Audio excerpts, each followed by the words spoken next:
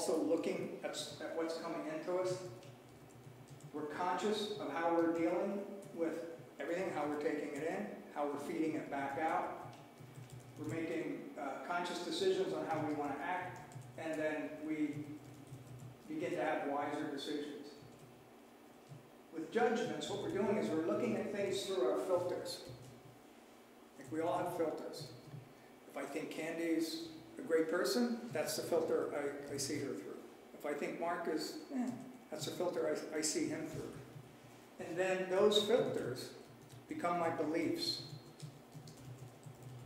And then those beliefs, because I believe them, they become facts.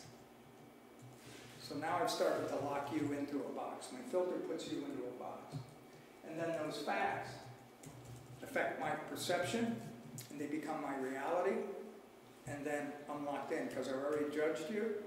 The ego likes to have things defined, and I've already got you in that box, and that's how I see you every time you show up. If I constantly look to assess and I constantly look to reset, and yeah, Mark might irritate me, but he's coming in, let me do a, let me be in the now. What is he contributing now?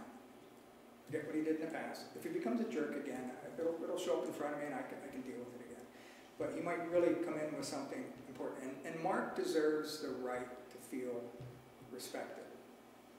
Whether I like him or not doesn't mean I'm right. Whether I think he has value or not doesn't mean he has value or not. Of course he has value. Uh, David Hawkins talks about the fact that, you know, yeah, I, I get to be me and you get to be you because we're both made from the same thing. And of course you get to be here. And of course you get to be exactly who you are. And, and me too.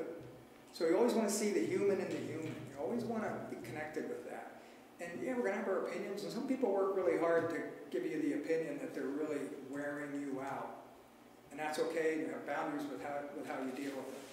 But be clear, be non-judgmental with how you deal with them. Use discrimination, use respect. Because they feel it.